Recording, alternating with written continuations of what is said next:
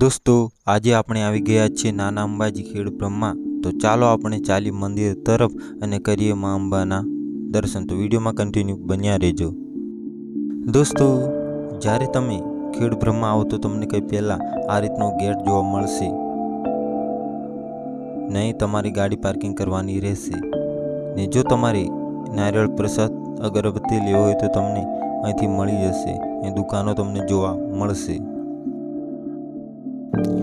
દોસ્તો, આ ગેટે આપણે ગાડી પાર્કિંગ કરવાની રહેશે અને ત્યારબાદ અહીંથી આપણે થોડું ચાલીને જવાનું રહેશે. જે પેલો સામે જે ગેટ દેખાય છે એ ગેટ સુધી. ત્યાંથી થોડા આગળ જશું તો ત્યારબાદ આવશે મા અંબાનું મંદિર. તો ચાલ્યો આપણે ચાલીએ મંદિર તરફ.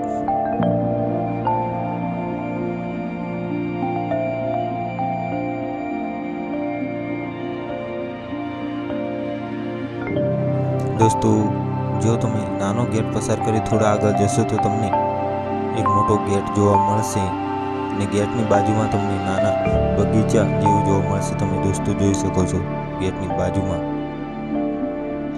દોસ્તો, જ્યારે તમે બીજા નંબરનો ગેટ પસાર કરશો તો તમ, તમને સામે જ મા અંબાનું મંદિર જોવા મળશે.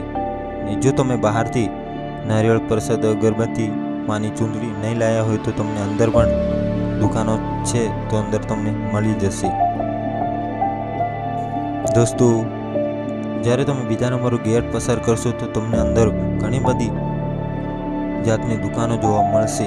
અહીંથી તમે કોઈ પણ વસ્તુ ખરીદી કરી શકો છો. દોસ્તો, આપણે આવી ગયા છીએ મંદિરની અંદર બીજા નંબર પસાર કરી દીધો છે. દર્શન કરવા. બહાર એક આપણને સંઘ મળે છે. એ સમય કરી માતાજી દર્શન કરવા જાય છે અને અહીં તે બ્રહ્મા એ સમય મોજ કરતા જોવા મળે છો.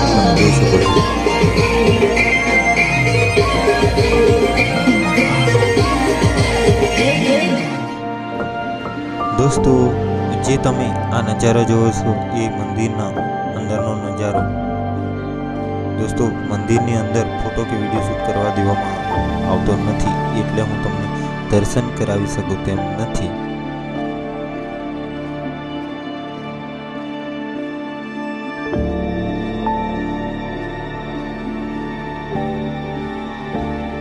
દોસ્તો, આપણે મા અંબાના દર્શન કરી લીધા છે ને? જે તમને આ નજારો દેખાય એ છે મંદિરનો આગળનો નજારો. દોસ્તો, જ્યારે પણ તમે ખેડ બ્રહ્મા આવો તો તમને બંને સાઈડથી તમે આવી શકો છો, કાં તો આગળથી આવી શકો છો, કાં તો એટલે જે તમને હું વીડિયો બતાવ્યો એ તરફથી પણ તમે આવી શકો છો. ને આ છે આગળનો વ્યૂ તમે જોઈ શકો છો. અને અહીં ગેટ પર એક એલસીડી લગાવવામાં આવી છે અને અહીં લાઈવ દર્શનનો મોકો મળે છે. તો દોસ્તો, દર્શન તમે કરી શકો છો. આ છે મા અંબા બિરાજમાન ખેડ બ્રહ્મા.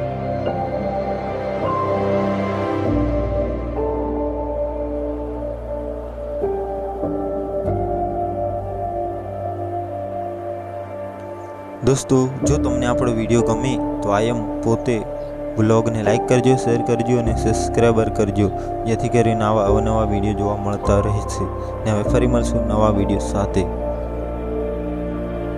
દોસ્તો, ને હવે તમારે કયો વીડિયો જોવો છે એ કમેન્ટ કરી જરૂર બતાવજો. તમારા માટે હું જરૂર વીડિયો લઈને આવીશ નવો.